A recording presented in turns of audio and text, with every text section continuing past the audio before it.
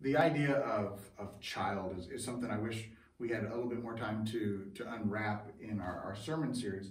Um, but just that, that idea of, of freshness, of newness, of, of truly trusting. Uh, I ran across this some time ago, and the, the child is um, kind of an acronym for uh, so many different qualities mm-hmm. within our life. And, and the C is for clay. Mm-hmm. And, you know, we're, we're told that, that God is this potter, we're, we're the clay, and um, that moldability, that, that reshaping of who we are, I think is so important you think of a, a, child on the good days, parents, right? Uh, when the, the H, the, the child is helping, it's involved, he's inquisitive, or, or she wants to be there in the kitchen. Let me do that. Let me have a, a hand in that. And they are they're earnestly desiring to grow up faster than yeah. than they are. They always want to be right in there. Mm-hmm. There's this I, the inquisitive, always asking the question, well, why are we doing that? How much longer? You know, what, what's going on? What yeah. they're learning so many things. And I think we as sometimes old, grumpy people. Uh, just we stop learning. We start stop enjoying the the mystery of life. Yeah.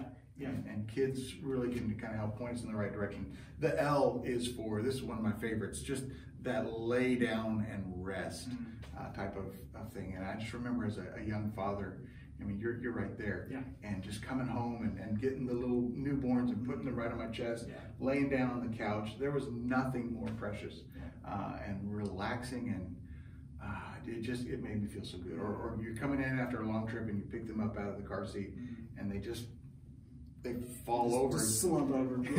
Yeah. but you just hear that little sigh right there on your shoulders, like man, that's so good. Yeah.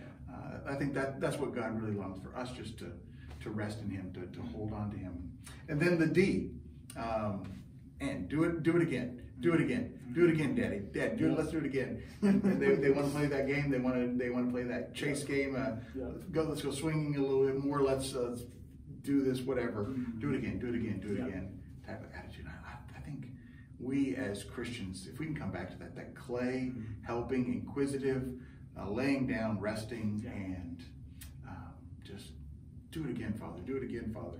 Uh, repetition and, and joy in that. I think that would be renewing and encouraging to those that are around us in our in our spiritual walk.